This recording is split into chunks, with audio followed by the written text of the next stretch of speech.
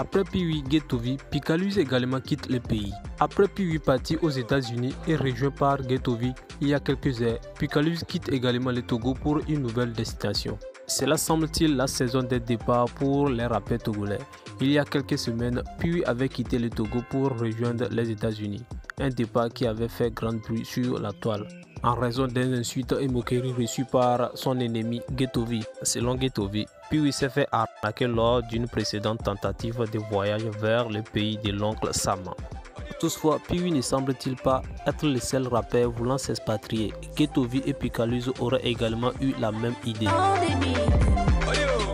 Il y a quelques minutes, Getovi a publié une vidéo dans laquelle il annonce son arrivée sur le territoire américain.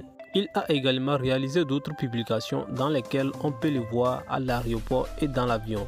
Une réponse à tous ces détracteurs qui avaient annoncé qu'il était incapable de se rendre aux États-Unis, a déclaré l'auteur du tube Ghetto Love dans sa vidéo. De son côté, Picalus s'est montré plus discret. Il a d'abord publié dans la journée d'hier une image de lui à l'aéroport et dans la journée d'aujourd'hui des vidéos tournées depuis un avion sans que sa personne ne soit visible. Le flou persiste sur la destination qu'il va rejoindre son confrère ou pas. Eh bien, on en saura plus une fois que l'artiste donnera de ses nouvelles.